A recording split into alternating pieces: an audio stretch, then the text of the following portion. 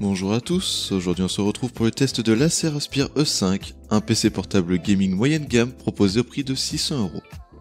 Je tiens à préciser que celui présenté dans la vidéo est le Acer Aspire E5 575G 54GY, une précision qui est importante car en fonction de la référence il peut y avoir quelques changements.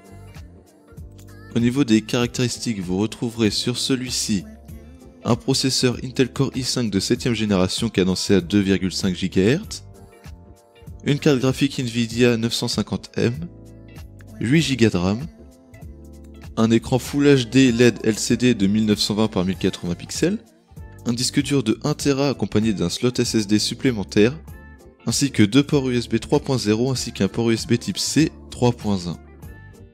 Lors du déballage, vous pourrez retrouver le PC accompagné de son chargeur secteur et de différentes notices d'utilisation, ainsi que les papiers de garantie.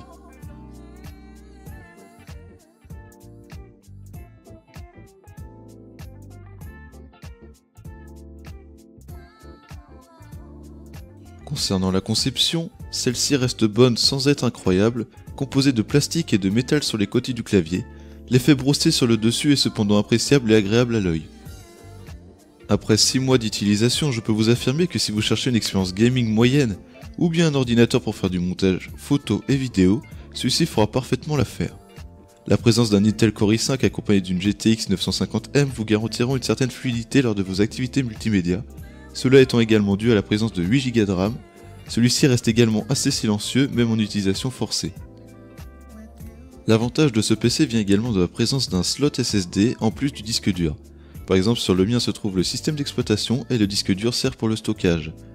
Avant d'en installer un, vérifiez bien sa compatibilité pour être sûr que celui-ci fonctionne, sachant que seuls les SSD M2 d'une certaine taille le sont.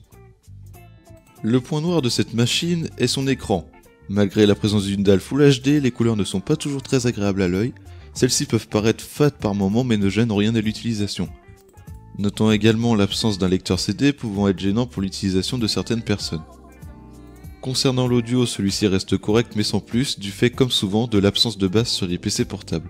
Pour conclure, comme nous avons pu le voir au travers de cette vidéo, l'Acer Aspire E5 excelle dans certains domaines comme la performance, là où il peut être moins bon dans l'autre tel que l'écran.